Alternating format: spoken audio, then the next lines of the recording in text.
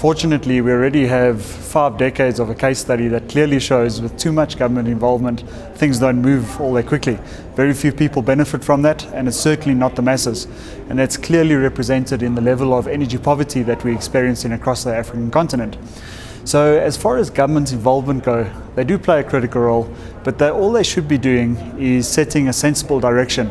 At the end of the day, the market needs to drive that needs to push it forward. Your private sector needs to be involved in that market in actually formulating a sustainable structure. And once again, uh, we don't want to use the word sustainable too, too broadly and too freely. We need to get down to basics, we need to get onto the ground, and we need to get communities electrified one way or another, centralized or even decentralized energy generation. Well, I don't uh, believe that we're going to resolve our challenges around energy poverty within 10 years, but I think getting a 10 year plan in place is going to be a phenomenal start. And number one, basics and fundamentals. Let's understand energy poverty. Let's understand how it's originated. We already understand that through transmission and distribution or lack thereof, we have run into severe trouble across the continent in electrifying communities. We're on this verge of decentralized energy generation, which is really already gaining traction.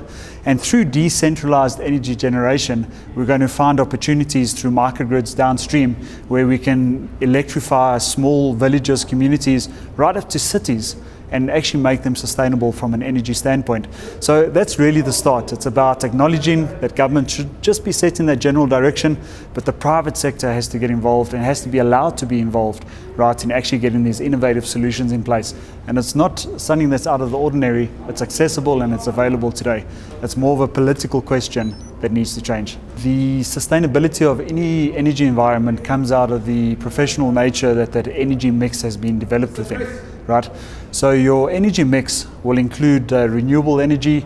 It could include conventional generation in form coal-fired generation. So we mustn't write that off just yet. You know, uh, half a, half a century is a long time, and we do have the resources available. So we've got to be sensible and we've got to be practical.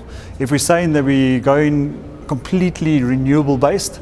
Um, I do believe uh, it's going to be a very difficult process moving forward. Let's deal with what we've got. We've got the renewable technology, but at the same time, we've got phenomenal other technologies in the form of geothermal. We've got traditional fossil fuel technology as well. Let's build that in the right percentages and the right uh, portions within the energy mix that's ultimately going to bring the solution to the, to the table.